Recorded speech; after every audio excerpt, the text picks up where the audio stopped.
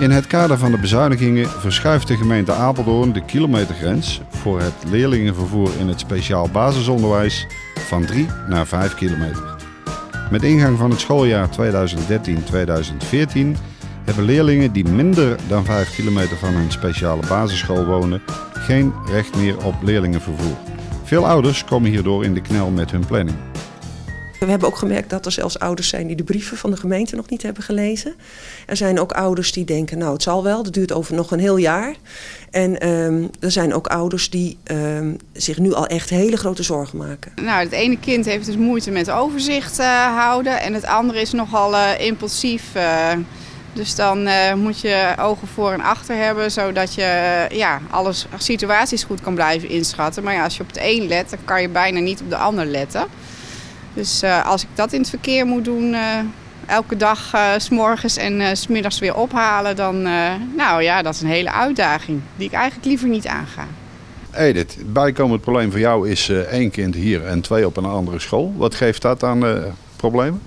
Nou, um, wij, wij zitten met dezelfde schooltijden, haal- en brengtijden. Dus um, als wij de kinderen uit school moeten halen, ik kan maar niet in tweeën splitsen en op twee plekken tegelijkertijd zijn om mijn kind op te halen. Het bijzondere natuurlijk voor deze groep ouders is dat ze het kind op een speciaal onderwijs kunnen hebben en kinderen op het regulier onderwijs. En dan heb je met twee scholen te maken. Dat snap ik. Um, en overigens is dat de reden dat we vanaf 5 kilometer nog steeds zorgen voor een vergoeding, dan wel voor collectief vervoer.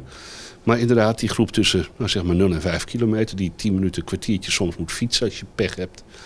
Daar zullen ja, voor creatieve oplossingen voor gezocht moeten worden. Er zijn er 190 leerlingen, waren ingeschat, die last gingen hebben van de verruiming. Dat blijken er uiteindelijk 20 te zijn. Of men, jullie nemen aan 20. Waar is dat op gebaseerd? Uh, het is zo dat er uh, ongeveer 180, 190 leerlingen zeg maar, de dupe worden van deze maatregel. Die hebben, de, de, ouders van die kinderen hebben geen recht meer op een vergoeding voor vervoerskosten. Van die 180, 190 kinderen zijn er, zoals we nu inschatten, want die enquête is net binnen, ongeveer 20 kinderen waar het nog echt een probleem is. Bij het gros van de kinderen lijkt er een goede oplossing te zijn gevonden.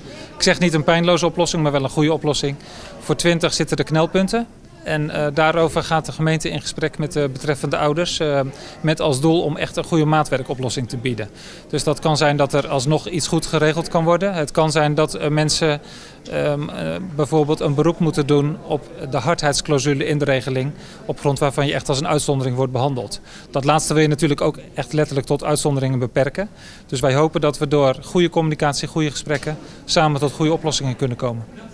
Is er een, enigszins beeld bij wat die knelpunten inhouden? Of zijn het allemaal financiële knelpunten? Nou, dat zou bijvoorbeeld kunnen zijn uh, dat wij de uh, verwachting uitspreken dat een kind uh, wel op een andere manier vervoerd kan worden. Terwijl er toch fysieke beperkingen zijn die dusdanig zijn. Dat dat niet redelijk is om dat te verwachten. Is er ook nog, want er is destijds sprake geweest dat er een soort werkgroepje zou komen met ook een paar moeders daarin. Die dit nader zouden uitlichten. Werkt die werkgroep? Er zijn drie ambtenaren uh, die zich bezig hebben gehouden uh, met de communicatie met de ouders. Dus met die enquêtes.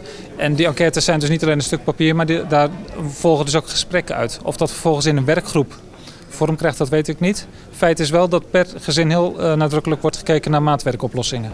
Waarbij de gemeente nog steeds nastreeft van ieder kind heeft recht op onderwijs, heb ik u net horen zeggen. Ja. En op de goede manier. Elk kind in Apeldoorn heeft recht op het onderwijs dat bij dat kind past. Uh, daar, mag de, daar mag de hele samenleving ons op aanspreken. En uh, in dit geval komt het er wel op neer dat mensen een deel van het recht op uh, vergoeding bij vervoer kwijtraken. Als dat ertoe leidt dat dat kind het passend onderwijs, wat, wat voor dat kind heel specifiek passend is, zou kwijtraken, dan gaan we met die mensen in gesprek. In onze regeling staat ook wat wij noemen een hardheidsclausule. Uh, daarop kunnen mensen aanspraak maken om te kijken of er niet toch uh, een maatwerkoplossing kan worden geleverd. Dus uh, wij gaan dus ook echt maatwerk leveren. De nieuwe kilometergrens is vanaf volgend schooljaar van kracht. De betrokken ouders kunnen bezwaren indienen en daarmee een beroep doen op de hardheidsclausule.